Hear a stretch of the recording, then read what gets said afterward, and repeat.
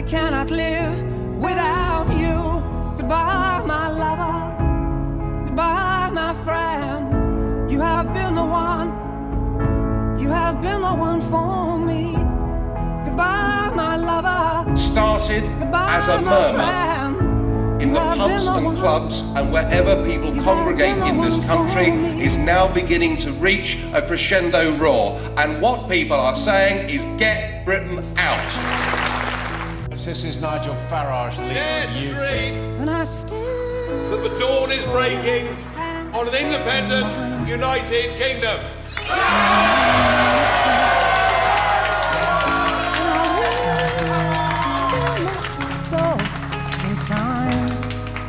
If the predictions now are right, this will be a victory for real people, a victory for ordinary people, a victory for decent people.